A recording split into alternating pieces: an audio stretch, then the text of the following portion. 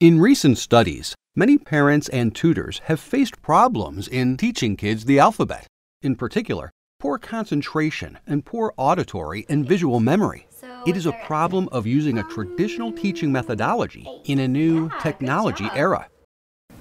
In Steamroll East, we found the solution after conducting research with many educators and parents, and the result is Alphabet Corner.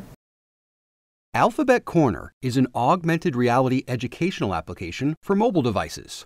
Augmented reality, or AR, technology allows educators and students to do just that impose a layer of digital information on top of the physical world that can be viewed through a mobile device.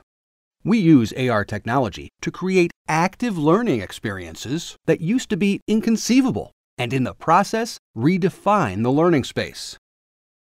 Alphabet Corner is combined with 4D stereoscopic vision, interactive experience, and with scientific teaching methods. So this app not only can help kids to learn the alphabet in a fun and easy way, but it can also strengthen auditory and visual memory. Alphabet Corner comes with 26 colorful flashcards. Each card's front side has an uppercase and lowercase letter and one cute animal picture, along with the animal's name.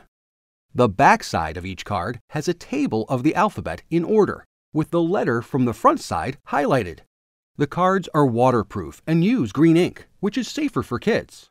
Also, the cards have rounded edges to keep it kid friendly and safe. Open the Alphabet Corner application. It includes two sections learning, and games.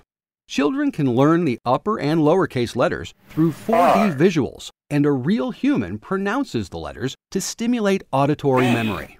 In the learning section, we have set up two modes.